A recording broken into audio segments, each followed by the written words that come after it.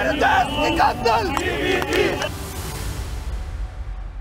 जी नाजरीन इस वक्त हम मौजूद हैं इस्लामाबाद प्रेस क्लब के अंदर और गुज्त आपने देखा होगा कि हाफिज़ नईम और रहमान ने कराची के अंदर एक बहुत बड़ी कामयाबी समेटी है और दूसरे नंबर पर इलेक्शन कमीशन ने उनको आ, कहा है कि आपकी दूसरी पोजीशन है इंतबात के अंदर।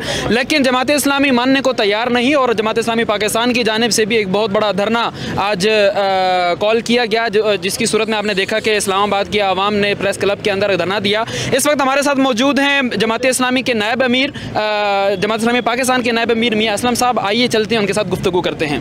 मियाँ साहब असलम आपने वक्त दिया शुक्रिया। जी मेहरबानी। अच्छा सबसे पहले तो ये बताएँ कि इंतबात हो रहे हैं कराची के अंदर लेकिन धरना दिए जा रहे हैं आप यहाँ पर। हम तो समझ रहे थे कि शायद को फायर वर्क होने जा रहा है। जमात इस्लामी ने इतने अरसे के बाद एक बहुत बड़ी कामयाबी से समेटी है तो यहाँ पर कोई नवाफिल अदा किए जा रहे होंगे कि जनाब दूसरी पोजीशन आ गई। लेकिन यहाँ पर तो दोबारा ही धरने वाली सियासत की तरफ़ जाया जा रहा है तो खुशियाँ क्यों नहीं मनाई जा रही? बिस्मिल्लाहिर्रहमानिर्रहीम।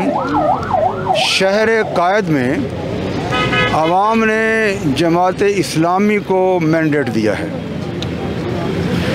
94 यूसी की कामयाबी के फार्म वो हमारे पास हैं। 10 का हमने रिकाउंटिंग की अप्लीकेशन दी हुई है। और हमारा यकीन है इन 103 सीटें हमारी हैं चेयरमैन वाइस चेयरमैन। ठीक है। और जो इलेक्शन कमीशन है सूबाई और सूबाई गवर्नमेंट ने, यानी अगर सोच सकते हैं कि पीपल्स पार्टी जहाँ जीत रही थी, वो दो घंटे में उसका रिज़ल्ट आ गया। और जहाँ जमा इस्लामी जीत रही थी, अट्ठाईस घंटे गुजर गए, तीस घंटे गुजर गए। मालूम नहीं कि जमात इस्लामी का जो वोट था उसको पता नहीं चाड़ चाड़ के देखते थे चूम चूम के देखते थे, पता नहीं कोई वो उसमें माइक्रोस्कोप में देखते थे कि ये कभी तराजू तीर तो नहीं बन सकता। लेकिन क्या किया जाए, तराजू तराजू है, तीर तीर है। तो उसने हमारी आठ सीटें कम कर दी। लेकिन इन आप देखेंगे कि रिकॉर्ड हमारे पास है, वोट हमारे पास है, फॉर्म हमारे पास हैं, सबके सामने रखेंगे। तो मुझे यकीन है इन कि हमारी 103 सीटें होंगी और जमात इस्लामी नंबर दो पर नहीं, नंबर एक पर आएगी पीपल्स पार्टी नंबर दो पर आएगी। दूसरी बात आपने फरमाया कि इतजाज कराची हमारा हिस्सा है, हमारा दिल है, हमारा जिगर है, वो मिनी पाकिस्तान है। कोई कराची में दुख होगा तो मेरे जिगर में दर्द होगा। इस्लामाबाद के सारे लोग बिफर के निकले हैं। कि हम कराची वालों उसकी ज़्यादती बर्दाश्त नहीं कर सकते।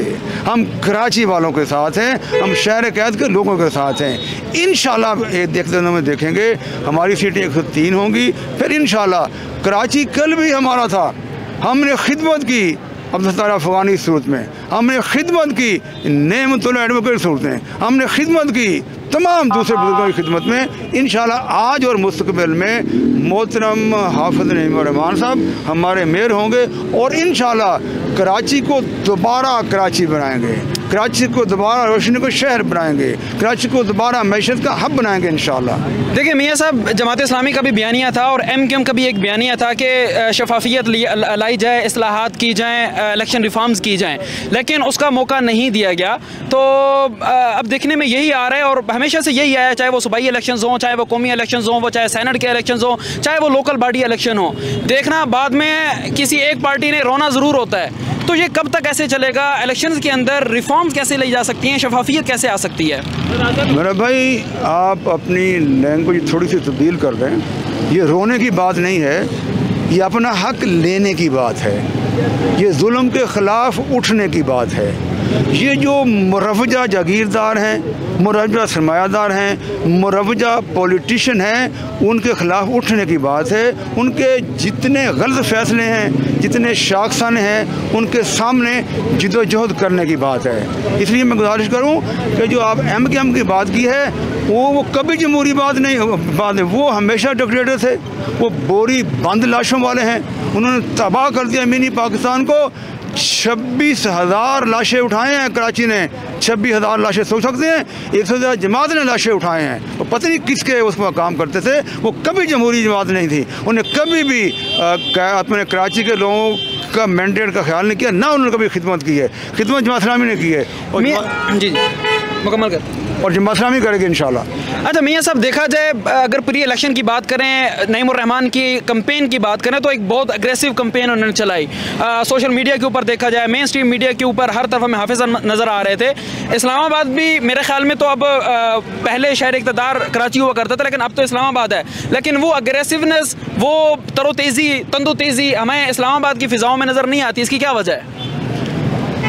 अगर आप मियाँ असलम का पेज देखें अखबार को ज़रा आँखें खोल के पढ़ें इलेक्ट्रॉनिक मीडिया भी देखें तो आपको यहाँ भी गर्मी कम नहीं आएगी। यहाँ भी जज्बा कम नहीं आएगा। यहाँ जैसे कम नज़र नहीं आएगी लेकिन कराची तीन करोड़ है ना ये बीस लाख है इतना फ़र्क तो होगा ना। जी नाजरीन मलाजा फरमाया हमारे साथ नायब अमीर जमात इस्लामी पाकिस्तान मियाँ साहब मौजूद है आपका बहुत बहुत शुक्रिया। थैंक यू बहुत मेहरबानी जी।